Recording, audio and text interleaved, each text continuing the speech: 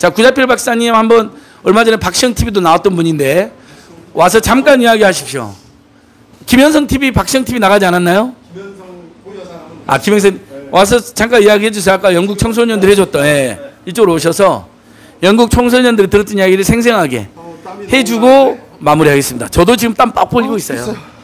자 여러분 전 경기 일자리 재단 본부장이고 지금은 보령 소촌에서 풀뿌리 정치라고 계시는 구자필 본부장 전 본부장입니다. 안녕하세요. 반갑습니다. 구자필입니다.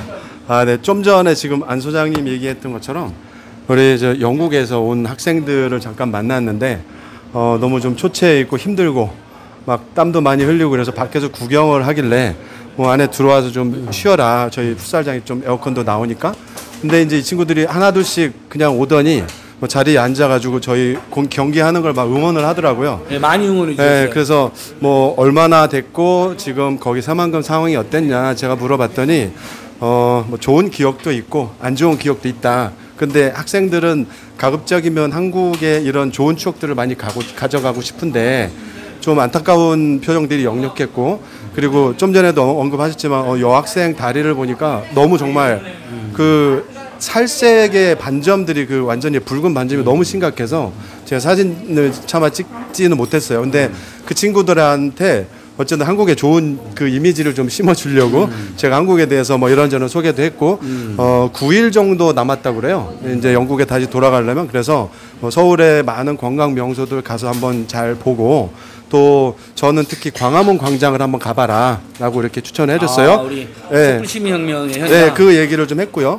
그리고 몇몇 그 학생들은 그 친구들이 이제 14살, 15살, 뭐 17살 이런 친구들인데 9일 동안 자기들이 와서 축구를 할 수 있느냐. 그래서 요 용산 아이파크몰 사이트를 제가 알려줬고 예. 그 한번 예약을 한번 해봐라. 뭐 가능할 수도 있지만 예. 한번 확인해봐라 이렇게 얘기를 했습니다. 저도 잠깐 들었는데 한국은 참 좋고 한국민들은 정말 친절한데 그래서 인상적인데 좋은 감정 가졌는데 새만금 잼버리는 정말 힘들었다. 아, 너무너무 힘들었고 엉망이었다. 뭐 이런 이야기를 했었죠. 네, 힘들었고 사실 그 중요한 게 이제 그 친구가 아까 윌리스라는 친구가 자기 아버지 페이스북 게시글을 저한테 보내주더라고요. 저 후라이 하나 시켜주세요.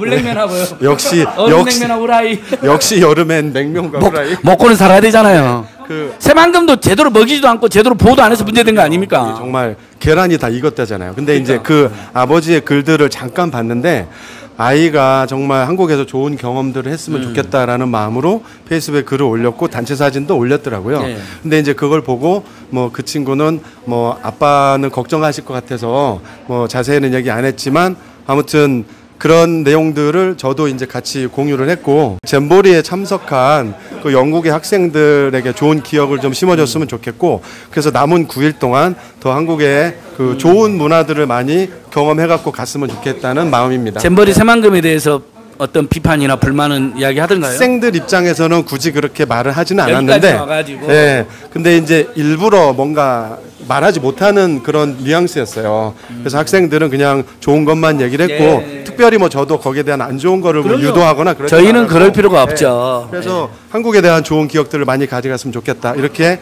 저 얘기를 해줬습니다. 그리고 그 친구하고 페이스북 친구를 맺었고, 네. 좀 전에도 페이스북에도 글을 하나 올렸습니다. 네. 힘들었다는 이야기는 해- 했었죠. 네, 너무 힘들었다고 얘기했고 그러니까요, 예. 사실 그 너무 습하다고 그러더라고요. 너무, 습해서 너무 습했고 너무 힘들었다. 밑에서 열기가 오는데 너무 힘들었고 그래서 아까 저희가 음료수를 얼음물을 줬는데도 너무 고마워했고 다만 이제 뭐 무슨 비스켓이나 이런 것도 혹시 배고프지 않냐 그랬더니 아 입에 물만 들어갔으면 좋겠다 그런 아, 얘기를 하더라고요. 예. 네. 그래서 뭐 아무튼 좋은 기억 한국에 대한 좋은 추억들 많이 만들었으면 좋겠다 그런 얘기 많이 했습니다. 예. 네. 예, 지금까지 오늘 영국 잼버리 참가단 청소년들을 아주 따뜻하게 맞이해준 어, 경기도 일자리재단 전 구자필 본부장님이었습니다. 충남 보령 서천에서 어, 풀뿌리 정치, 제대로 된 민주 정치, 또 이재명 대표와 함께하는 어, 민생 정치를 준비하는 분이거든요. 마지막으로 어, 그래도 출연하신 김에 이재명 대표하고 인연 어떻습니까? 이재명 대표님 우리 안익을 TV는 상당히 좋아합니다. 하지만 어, 제1야당이 제대로 대응하지 못하는 것에 대해서는 우리 이재명 대표님과 민주당에도 저희는 또 때로 날카로운 비판과 지적도 하고 있는 편인데요. 네. 어, 그 인연은 어떻습니까? 경기도지사 할 때 경기일자리재단 본부장이었죠? 네, 맞, 맞고요. 어, 갑작스럽게 이렇게 나와가지고 이재명 대표님하고 인연을 얘기하라고 하는데 아무튼 정말 치밀하게 준비하고 정책에 대해서 많이 고민하시고 대신 실행을 할 때는 정광석화처럼 빨리 진행하는 그런 리더십과 정치력, 행정력을 보여주신 이재명 대표님과 함께 했던 그런 시절 많이 제가 저 기억하고 있고요.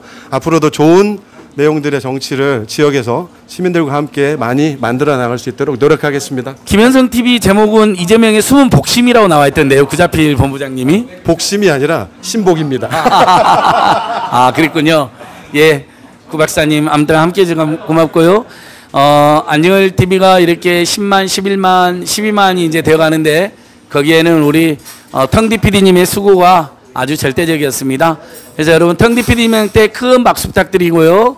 다시 한번 큰 박수 부탁드리고요. 그 다음에 어, 안진걸 TV의 자매 TV들인 우희종 TV, 인사이트 TV, 뉴스맥 TV, 양이삼 TV, 임세은식당 TV, 박예슬 톡톡 TV, 김현성 TV 등 또 우리 안진걸 TV 못지않게 함께 응원해 주시고 많이 구독하기, 좋아요, 알림 설정 홍보하기 해주시면 고맙겠습니다. 예, 어, unboxing 죄송한데요. unboxing 행사가 상당히 길어졌습니다. 이제 마무리하겠습니다. 네, 이만 물러가겠습니다. 안진걸 화이팅! 안진걸 TV 구독, 좋아요 많이 눌러주세요. 감사합니다. 예,